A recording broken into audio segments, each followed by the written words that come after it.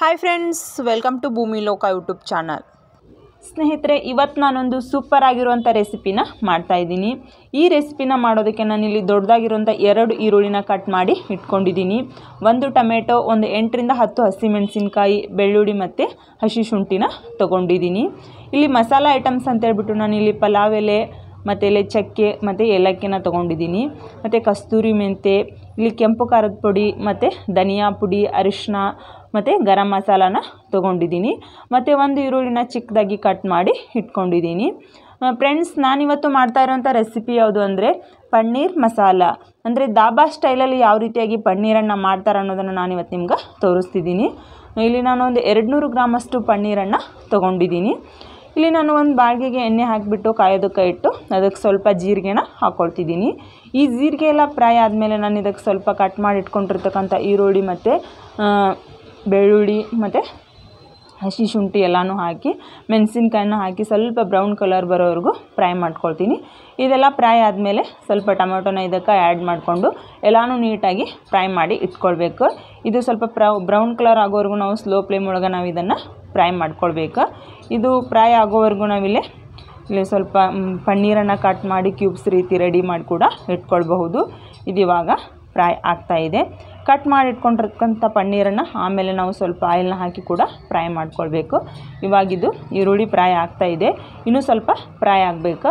ಇದು ಫ್ರೈ ಆದಮೇಲೆ ನಾವು ಇದಕ್ಕೆ ಟೊಮೆಟೊನ ಹಾಕ್ಕೊಳ್ಬೇಕು ಇಲ್ಲಿ ಫ್ರೈ ಮಾಡೋದಕ್ಕೆ ನಾನು ಇಟ್ಟು ಇವಾಗ ದೊಡ್ಡದಾಗಿರುವಂಥ ಈರುಳ್ಳಿನ ಸ್ವಲ್ಪ ಇದನ್ನು ನೀಟಾಗಿ ಕಟ್ ಮಾಡ್ಕೊಳ್ತಾ ಇದ್ದೀನಿ. ಅಂದರೆ ಇದು ದೊಡ್ಡದಾಗಿ ಕಟ್ ಇದ್ದರೆ ನೀಟಾಗಿ ಒಳಗಡೆ ಹಸಿ ಹಸಿ ಎಲ್ಲ ಉಳಿತೈತಿ ಹಾಗಾಗಿ. ಇವಾಗ ಕಟ್ ಮಾಡಿಟ್ಕೊಂಡಿರ್ತಕ್ಕಂಥ ಪನ್ನೀರನ್ನು ಇನ್ನೊಂದು ಪಾತ್ರೆಗೆ ನಾನು ಸ್ವಲ್ಪ ಆಯಿಲ್ ಹಾಕಿ ಅದಕ್ಕೆ ರೆಡ್ ಚಿಲ್ಲಿ ಪೌಡ್ರನ್ನ ಹಾಕಿ ಅದರೊಳಗೆ ಹಾಕಿಬಿಟ್ಟು ಪನ್ನೀರನ್ನು ರೆಡಿ ಮಾಡ್ಕೊಳ್ತಿದ್ದೀನಿ. ಈ ಪನ್ನೀರನ್ನು ಅಷ್ಟೇ ಸ್ವಲ್ಪ ಸ್ಲೋ ಫ್ಲೇಮ್ ಒಳಗಿಟ್ಟು ಸ್ವಲ್ಪ ಹೊತ್ತು ಅಷ್ಟೇ ಇದನ್ನು ಫ್ರೈ ಮಾಡ್ಕೊಳ್ಬೇಕು. ಜಾಸ್ತಿ ಹೊತ್ತು ಫ್ರೈ ಮಾಡ್ಕೊಳ್ಬಾರ್ದು. ಇಲ್ಲಾಂದರೆ ಎಲ್ಲ ಇದು ಒಡೆದು ಬಿಡ್ತೈತಿ ಇನ್ನು ಸ್ಲೋ ಆಗಿನೇ ತಿರುಗಿಸಿ ಹಾಕ್ಕೊಳ್ಬೇಕು ಎಲ್ಲನೂ ಈ ರೀತಿ ಮಾಡಿ ಇಟ್ಕೊಳ್ಬೇಕು. ಆಗ ಇದು ನಮಗೆ ಗ್ರೇವಿ ಮಾಡ್ತೀವಲ್ಲ ಆವಾಗ ಟೇಸ್ಟ್ ಚೆನ್ನಾಗಿ ಕೊಡ್ತೈತಿ. ಇದೆಲ್ಲನೂ ಎರಡು ಸಾರಿ ನಾನು ಮಾಡಿ ಇಟ್ಕೊಂಡೆ, ಒಂದೇ ಸಾರಿ ಮಾಡ್ಕೊಳ್ಳಿಲ್ಲ.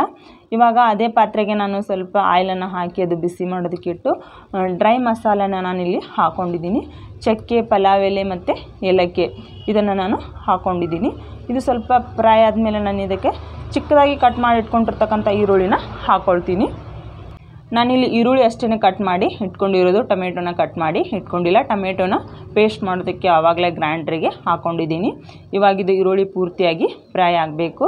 ಈ ಫ್ರೈ ಆಗೋವರೆಗೂ ನಾವು ಇದನ್ನು ಮಿಕ್ಸಿ ಜಾರಿಗೆ ಹಾಕಿ ಮಸಾಲೆನ ರೆಡಿ ಮಾಡಿ ಇಟ್ಕೊಳ್ಬೇಕು. ಇವಾಗೆಲ್ಲ ಅದು ತಣ್ಣಗಾಗಿದೆ. ಅದು ಮಸಾಲೆನ ನಾವು ರೆಡಿ ಮಾಡಿ ಇಟ್ಕೊಂಡು ಇಲ್ಲಿ ಸ್ವಲ್ಪ ನಾನು ಮೊಸರನ್ನ ತೊಗೊಂಡಿದ್ದೀನಿ. ಈ ಮೊಸರಿಗೆ ನಾನು ಒಂದು ಸ್ವಲ್ಪ ಅರಿಶಿನ ಗರಂ ಮಸಾಲ ಮತ್ತು ಹಸಿ ಖಾರ, ಇದು, ಕೆಂಪು ಖಾರದ ಪುಡಿ. ಎಲ್ಲನೂ ಹಾಕಿ ನಾನಿಲ್ಲಿ ಇದು ಧನಿಯಾ ಪುಡಿ. ಎಲ್ಲನೂ ಹಾಕಿ ಎಲ್ಲನೂ ಹಾಕಿ ನಾನಿಲ್ಲಿ ಮಸಾಲೆನ ರೆಡಿ ಮಾಡ್ಕೊಳ್ತಾ ಇದ್ದೀನಿ. ಮೊಸರೂ ಅಷ್ಟೇ ಜಾಸ್ತಿ ಹುಳಿ ಇರಬಾರ್ದು. ಸ್ವಲ್ಪ ಫ್ರೆಶ್ ಇರುವಂಥ ಮೊಸರನ್ನೇ ತೊಗೊಂಡಿದ್ದೀನಿ. ಇದು ಮೊಸರನ್ನ ತೊಗೊಂಡು ನೀಟಾಗಿ ಮಸಾಲೆಗಳನ್ನೆಲ್ಲನೂ ಮಿಕ್ಸ್ ಮಾಡ್ಕೊಳ್ಬೇಕು. ಮಿಕ್ಸ್ ಮಾಡೋವರೆಗೂ ಇಲ್ಲಿದ್ದು ಬ್ರೌನ್ ಕಲರ್ ಆಗಿ ಆಗಿದೆ ಈರುಳ್ಳಿ. ಇದಕ್ಕೆ ನಾನು ರೆಡಿ ಮಾಡಿ ಇಟ್ಕೊಂಡಿರ್ತಕ್ಕಂಥ ಮಿಕ್ಸಿ ಜಾರಿಗೆ ಹಾಕಿ ರೆಡಿ ಮಾಡಿ ಇಟ್ಕೊಂಡಿರ್ತಕ್ಕಂಥ ಮಸಾಲೆನ ಇವಾಗ ಹಾಕ್ಕೊಂಡಿದ್ದೀನಿ ಇದನ್ನು ಇವಾಗ ನೀಟಾಗಿ ಫ್ರೈ ಮಾಡ್ಕೊಳ್ಬೇಕು. ಇದು ಸ್ವಲ್ಪ ಹೊತ್ತು ಬಾಯ್ಲ್ ಆಗಬೇಕು. ಆಮೇಲೆ ನಾವು ಇದಕ್ಕೆ ರೆಡಿ ಮಾಡಿ ಇಟ್ಕೊಂಡಿರ್ತಕ್ಕಂಥ ಮೊಸರನ್ನು ಕೂಡ ಇದಕ್ಕೆ ಆ್ಯಡ್ ಮಾಡ್ಕೊಳ್ಬೇಕು. ಈ ರೀತಿ ಮೊಸರು ಹಾಕಿ ನಾನು ಮಾಡ್ತಾ ಇರೋದು ಪನ್ನೀರ್ ಫಸ್ಟ್ ಟೈಮು ಮೊದಲು ಮಾಡಿದ್ದೆ, ಬಟಾಣಿ ಹಾಕಿ ಮಾಡಿದ್ದೆ. ಆದರೆ ಈ ರೀತಿಯಾಗಿ ಮಾಡಿರಲಿಲ್ಲ. ಇದು ಯಾವ ರೀತಿ ಟೇಸ್ಟ್ ಬರುತ್ತೆ ನೋಡೋಣ ಅಂತೇಳಿ ಈ ರೀತಿಯಾಗಿ ಟ್ರೈ ಮಾಡ್ತಿದ್ದೀನಿ. ಇವಾಗ ಇನ್ನೂ ಇದು ಕಲರ್ ಬಿಟ್ಕೊಂಡಿಲ್ಲ. ಕಲರ್ ಬಿಡೋವರೆಗೂ ನಾವು ಇದನ್ನು ಸ್ಪೂನ್ ಆಡಿಸ್ತಾನೆ ಇರಬೇಕು. ಆಮೇಲೆ ನೀಟಾಗಿದು ಕಲರ್ ಬಿಟ್ಕೊಳ್ಳುತ್ತೆ ನೀವು ಇವಾಗ ನೋಡ್ತಿರ್ಬೋದು ಇದು ಕಲರ್ ಕೂಡ ಚೇಂಜ್ ಆಗತ್ತೈತಿ ಮತ್ತು ಇದು ಸ್ವಲ್ಪ ಗಟ್ಟಿನೂ ಆಗತ್ತೈತಿ ಇದಕ್ಕೆ ನೀವು ಸ್ವಲ್ಪ ನೀರನ್ನ ಕೂಡ ಹಾಕ್ಕೊಳ್ಬೋದು ನಿಮ್ಗೆ ಗಟ್ಟಿ ಬೇಕು ಅಂದರೆ ಸ್ವಲ್ಪ ಹಾಗೆ ಬಿಡ್ಬೋದು, ಅಥವಾ ಸ್ವಲ್ಪ ನಿಮಗೆ ಜಾಸ್ತಿ ಆಗಬೇಕು ಸ್ವಲ್ಪ ನೀರು ಥರ ಆಗಬೇಕು ಅಂದರೆ ಇನ್ನೂ ಸ್ವಲ್ಪ ನೀರನ್ನ ಹಾಕ್ಕೊಳ್ಬೋದು ಇವಾಗ ನಾನು ರೆಡಿ ಮಾಡಿ ಇಟ್ಕೊಂಡಿರ್ತಕ್ಕಂಥ ಪನ್ನೀರನ್ನು ಹಾಕ್ಕೊಳ್ತಾ ಇದ್ದೀನಿ. ಪನ್ನೀರನ್ನು ಹಾಕ್ಕೊಂಡು ನೀಟಾಗಿ ಮಿಕ್ಸ್ ಮಾಡ್ಕೊಳ್ಬೇಕು. ಆಗ ನಮಗೆ ಮಸಾಲ ಪನ್ನೀರ್ ರೆಡಿ ಆಗುತ್ತೆ. ಇದು ಮೊಸರು ಅದೆಲ್ಲನೂ ರೆಡಿ ಮಾಡಿದ್ದನ್ನು ಕೂಡ ಇದಕ್ಕೆ ಹಾಕ್ಕೊಂಡಿದ್ದೀನಿ ಎಲ್ಲ ಹಾಕ್ಬಿಟ್ಟು ನೀಟಾಗಿ ಇದನ್ನು ಫ್ರೈ ಮಾಡ್ಕೊಳ್ಬೇಕು. ಒಂದು ಹತ್ತು ನಿಮಿಷದವರೆಗೂ ಫ್ರೈ ಮಾಡಿದರೆ ನಮಗೆ ದಾಬಾ ಸ್ಟೈಲ್ ಪನ್ನೀರ್ ಮಸಾಲ ರೆಡಿ ಆಗುತ್ತೆ. ಇದನ್ನು ಒಂದು ಮುಚ್ಚಳನ ಮುಚ್ಚಿಬಿಟ್ಟು ನೀವು ಇಡಬಹುದು. ಇದನ್ನು ಚಪಾತಿ ಜೊತೆ, ರೊಟ್ಟಿ ಜೊತೆ, ಯಾವುದ್ರ ಜೊತೆ ಬೇಕಾದರೂ ನೀವು ತಿನ್ನಬಹುದು ಫೈನಲ್ ಆಗಿ ನೀವು ಇದಕ್ಕೆ ಸ್ವಲ್ಪ ಕೊತ್ತಂಬರಿ ಸೊಪ್ಪನ್ನು ಹಾಕಿ ಹಾಕಿದರೆ ನಿಮಗೆ ಮಸಾಲ ಪನ್ನೀರ್ ರೆಡಿ ಆಯಿತು. ನೋಡಿದ್ರಲ್ಲ ಫ್ರೆಂಡ್ಸ್ ಮಸಾಲ ಪನ್ನೀರ್ನ ಯಾವ ರೀತಿ ಮಾಡೋದು ಅಂತ? ಈ ವಿಡಿಯೋ ನಿಮಗೆ ಇಷ್ಟವಾಗಿದ್ದರೆ ಲೈಕ್ ಮಾಡಿ ಶೇರ್ ಮಾಡಿ ಕಮೆಂಟ್ ಮಾಡಿ. ನಮಸ್ಕಾರ.